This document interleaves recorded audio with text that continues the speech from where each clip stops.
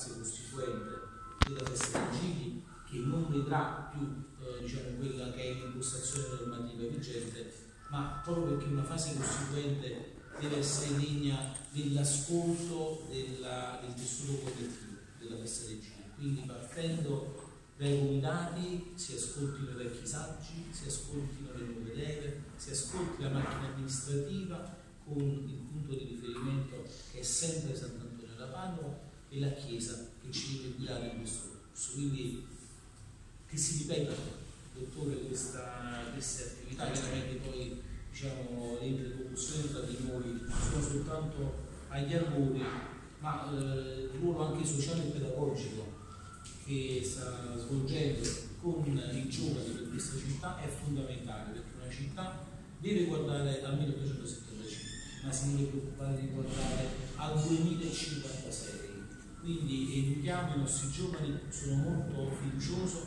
l'amministrazione ci metterà la mano sua perché ad esempio da gennaio partirà un percorso musicale all'interno delle scuole dove daremo un imprinting folcloristico a quella, quell'aspetto dobbiamo aiutare a calpestare, cioè le d'arte, dobbiamo stare vicini a tutti quelli che sono la, la vera essenza dell'artista. Il Giglio d'Oro viene, viene, cade proprio nel momento giusto perché è come se fosse diciamo, un pulis. Finisce la festa, facciamo anche un grande evento e poi da lì basta come festeggiamenti, testa e basta lavorare per la festa. Grazie a voi. Grazie.